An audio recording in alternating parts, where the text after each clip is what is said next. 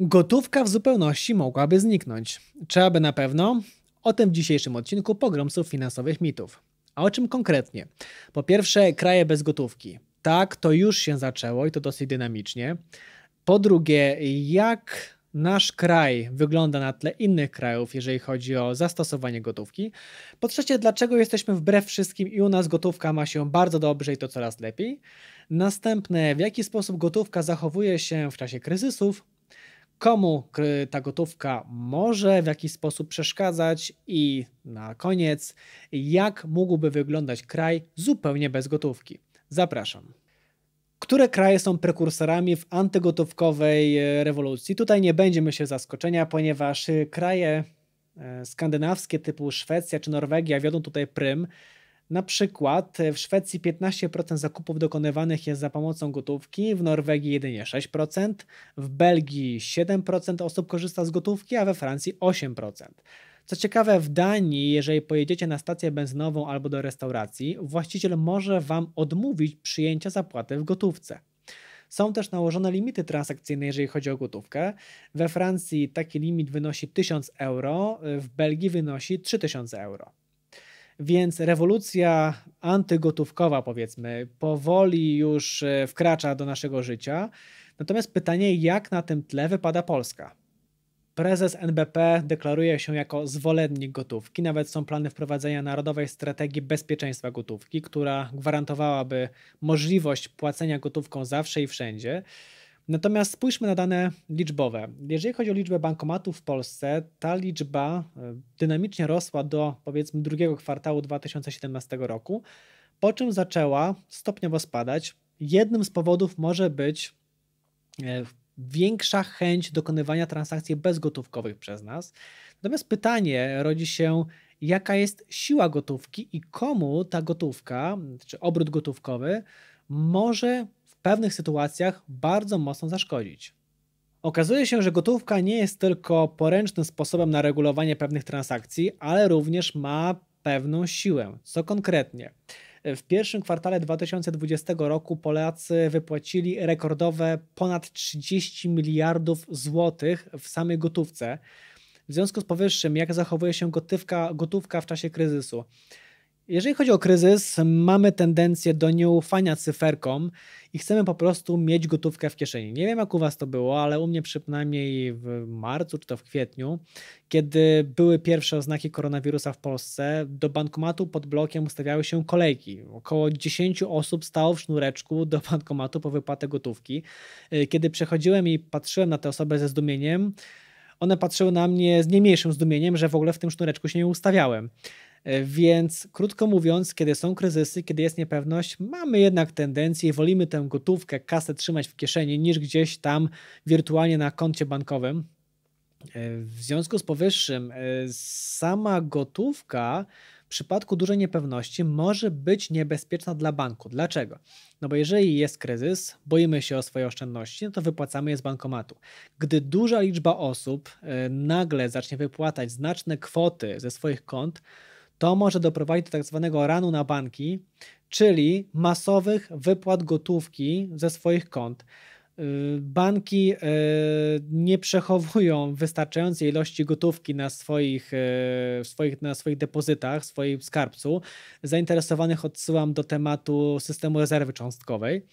W związku z powyższym to może doprowadzić do wprowadzenia limitów w wypłatach z bankomatów, co z kolei może doprowadzić do paniki i nawet już w skrajnym wypadku, w skrajnej sytuacji, ale jednak rozruchów. Więc nikomu na tym nie zależy, żeby doszło do ranu na banki, czyli do nagłego, nerwowego wypłacania dużej liczby osób swoich oszczędności z kont bankowych. W takiej sytuacji gotówka może być bardzo pośrednio, może być bardzo niebezpieczna dla jakiegoś banku. E, my Polacy jesteśmy dość tradycyjnym narodem, w wyniku czego, przynajmniej w tym przypadku, e, wartość gotówki w naszym kraju w miliardach złotych e, z roku na rok systematycznie rośnie.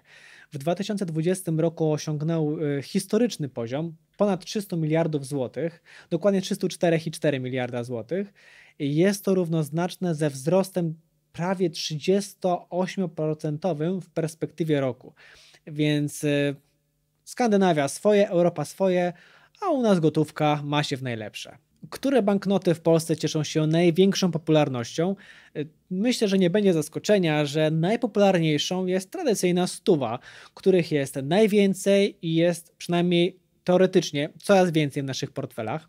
Dwusetki też cieszą się sporym zainteresowaniem. Coraz więcej jest pięćsetek. Natomiast y, mimo wszystko dosyć niechętnie korzystamy z banknotów 20-złotowych, ponieważ ich poziom utrzymuje się mniej więcej na tym samym poziomie. Jeżeli chodzi o stuwa, to aktualna liczba stówek y, w systemie to jest ponad miliard 600 milionów sztuk. Natomiast w okresie od września do września 2019-2020 ilość stów w obiegu zwiększyła się o niecałe 20%. Dlaczego w takim razie ilość gotówki w naszym systemie rośnie? Myślę, że ważne są trzy czynniki. Po pierwsze, inflacja. Niestety, ale za tę samą stówę 10 e, lat temu można było kupić znacznie więcej, więc pod tym względem naprawdę kiedyś było lepiej. W związku z powyższym nie ma się też co dziwić, że aktualnie w portfelu tych stówek będziemy mieli znacznie więcej. Niestety o niższej wartości niż kiedyś. Po drugie, przynajmniej statystycznie, wynagrodzenia rosną i to w poziomie w tempie wyższym niż inflacja, więc jesteśmy po prostu z założenia statystycznie bogatsi. No i po trzecie, nasza gospodarka się rozwija, więc też siłą rzeczy tej gotówki w systemie będzie znacznie więcej jak zachowuje się gotówka w czasie kryzysu. Jeżeli mamy kryzys gospodarczy, finansowy czy jakąś niepewność, mamy tendencję do tego, by od razu wędrować do bankomatu i wyciągać gotówkę, gdyż czujemy się dzięki temu pewniej. W związku z powyższym no nie ma się też co dziwić, że w roku 2020 wartość gotówki w obiegu na przykładzie USA wzrosła bardzo dynamicznie. Na przykład w tygodniu do 23 marca odnotowano trzeci najwyższy w historii wzrost tygodniowy wartości gotówki w obiegu. Na przykładzie strefy euro sytuacja wygląda bardzo podobnie, zwłaszcza tutaj wzrosła wartość banknotów 200 eurowych, 200 euro e, w obiegu, więc jeżeli mamy kryzys, niepewność, w takich sytuacjach wartość gotówki w obiegu znacznie wzrasta. W związku z powyższym, jeżeli w obawie przed kryzysem, w obawie przed niepewnością gospodarczą wolimy mieć gotówkę w ręku, to jak w takim razie mogłoby wyglądać państwo, w którym w ogóle nie ma gotówki? Pierwsza kwestia, no, w, każda transakcja dokonywana przez nas pozostawiałaby ślad w systemie finansowym, bo wszystkiego dokonywalibyśmy e, transakcji za pomocą kart debetowych czy kredytowych. No, pytanie zasadnicze, no, pewne transakcje czy usługi za nie przyjęło się płacić w gotówce. No, na przykład hydraulikowi, no przychodzi pan Kazio, wymienia uszczelkę, prosi o 20 zł, to w takiej sytuacji, nie wiem, trzeba byłoby mu płacić albo, e, nie wiem, bikiem, ewentualnie, no nie wiem, e, przychodziłby z terminalem, ciężko mi to sobie wyobrazić. E, ciężko mi też sobie wyobrazić takie transakcje, że idziemy gdzieś na, na, na bazarek kupić jakieś warzywa i pani na bazarku będzie wyciągała terminal. No tak to by miałoby w założeniu wyglądać. Teoretycznie ograniczyłoby się szarą strefę, czyli osoby, które pracują tak zwanie na czarno, czyli wykonują legalną, tak legalny zawód, ale nie odprowadzają podatku dochodowego. Ograniczenie czarnej strefy, no to tutaj narkomania czy prostytucja, czy by to było ograniczone? Nie wiem. Nie wiem też w jaki sposób by osoby, które chcą tego typu rzeczami się zajmować i korzystać, jakby się rozliczały. E, pewnie też by wyeliminowanie gotówki ograniczyło koszty związane z produkcją, dystrybucją pieniądza. No, po prostu by tego pieniądza nie było w systemie. No i teraz pytanie, czy ograniczenie swobód obywatelskich? Na to pytanie prosiłbym, żebyście wy odpowiedzieli w komentarzach, czy waszym zdaniem zupełne wyeliminowanie gotówki ograniczyłoby swobody obywatelskie.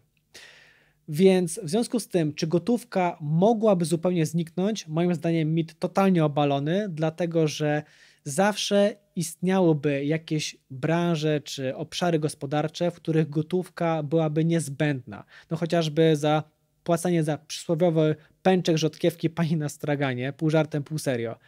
Więc moim zdaniem e, użycie czy zastosowanie gotówki będzie stopniowo malało, to już się zaczęło, natomiast przynajmniej na razie ciężko mi sobie wyobrazić kraj czy sytuację, w którym by gotówka nie miała kompletnie żadnego znaczenia. Moim zdaniem będzie miała znaczenie marginalne, ale jednak będzie miała. Dajcie znać w komentarzach, co o tym myślicie, co o tym uważacie i do zobaczenia w następnym odcinku Pogromców Finansowych Mitów.